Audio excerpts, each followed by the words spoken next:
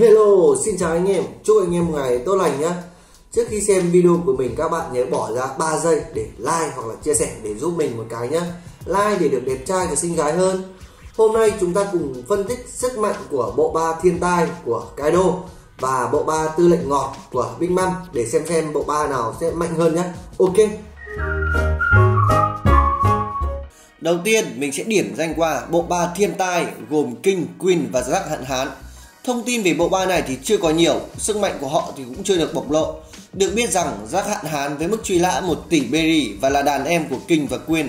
Mới đầu khi xuất hiện thì Jack thì cực kỳ ngầu luôn. Mình thì đã nghĩ rằng Jack là kẻ mạnh thứ hai chỉ sau Kaido mà thôi.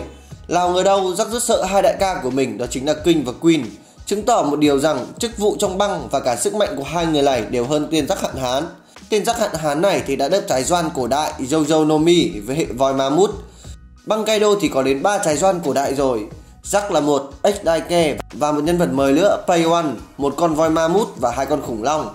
Độ châu bò và sức mạnh của Jack thì anh em cũng đã khá là rõ khi hắn có thể chiến đấu 5 ngày 5 đêm với hai đại nhân chó mèo của tộc Minh. Tiếp đến mình sẽ lướt qua bộ ba tư lệnh ngọt của Big Mom, Katakuji, Smarty và Cracker. Đứng đầu Charlotte Katakuji, xóa ca người cá này với mức truy lã 1 tỷ 57 triệu berry sở hữu ba loại haki đó chính là haki bá vương, haki vũ trang và haki quan sát nhìn thấu tương lai. Anh này thì đã ăn DF Mochi Mochi hệ Baza Mesia đặc biệt. Anh đã bán hành cho lù nhà mình khá là nhiều. Nếu như đánh thực tế ngay từ đầu thì lù nhà mình đã ngập củ tỏi như Châu Việt Cường rồi. Tiếp đến là cô em gái với mức truy lã 932 triệu BD Charlotte Smorty. Cô là bộ trưởng của bộ trái cây. Nhìn sơ qua chúng ta có thể thấy cô nàng này thuộc tộc chân dài đã ăn trái ác quỷ hệ vắt ép, cô có thể vắt ép mọi sinh vật sống ra thành nước và uống chúng một cách ngon lành. Trong át đảo bánh thì dường như Smarty không hề có tác dụng gì cho nắm. Nhiều bạn nói rằng bà này khá là phế, phế lòi mắt. Nhưng ở trong một SBS, bác Oda có nói rằng Smarty rất là mạnh. Từ cơ chế tăng hàm lượng nước trong cơ thể, cô có thể hóa thành một người khổng lồ và gia tăng sức sát thương lên cây kiếm của mình. Chắc hẳn rằng chúng ta sẽ được chứng kiến sức mạnh của cô nàng này trong cái ác Wano sắp tới. Đứng thứ ba là Bộ trưởng đảo bánh Charlotte Cracker với truy lạ 860 triệu berry. Hắn đã ăn trái ác quỷ bánh quy. Hắn có thể gọi ra một quân đoàn bánh quy vô cùng hùng mạnh. Mà nói là bánh quy thôi, chứ độ bền và sức phòng thủ của nó thì vô cùng lớn đấy. Nhìn chung thì mình thấy rằng những đứa con của Big Mom, bộ ba tư lệnh ngọt đấy, có phân cửa dưới hơn so với bộ ba thiên tai. Một phần thì chúng luôn ở trong đảo bánh để bảo vệ đảo, ít khi chiến đấu hoặc là đi chinh chiến bên ngoài. Về đặc tính của bộ ba này thì mình thấy chúng thiên về sức mạnh hoặc là tấn công hơn. Qua át đảo bánh thì các bạn có thể thấy rằng sức phòng thủ của Katakuri hay là Cracker thì khá là yếu.